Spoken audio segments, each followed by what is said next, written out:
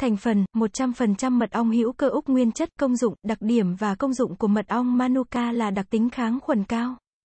Nếu kháng sinh có khả năng tiêu diệt cả vi khuẩn có lợi và vi khuẩn có hại thì mật ong lại không có những tác dụng phụ trong việc điều trị lâu dài. Mật ong Manuka được coi là một loại thuốc diệt khuẩn tự nhiên hiệu quả nhất, nó chỉ tìm và tiêu diệt các vi khuẩn có hại mà không ảnh hưởng đến những lợi khuẩn trong cơ thể con người. Với tính kháng khuẩn, kháng viêm tuyệt vời, mật ong Manuka được xem là một loại kháng sinh lành tính từ thiên nhiên. Rất có lợi cho sức khỏe, hỗ trợ điều trị cho các bệnh bệnh như sau, đau dạ dày, loét dạ dày.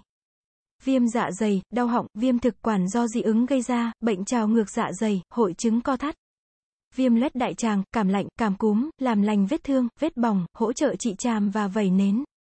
Mụn trứng cá, mật ong Manuka có tác dụng hiệu quả trong điều trị và hồi phục làn da mụn. Lưu ý, không sử dụng sản phẩm hết hạn, bảo quản, để nơi khô ráo, thoáng mát, hợp vệ sinh và xa ánh sáng mặt trời.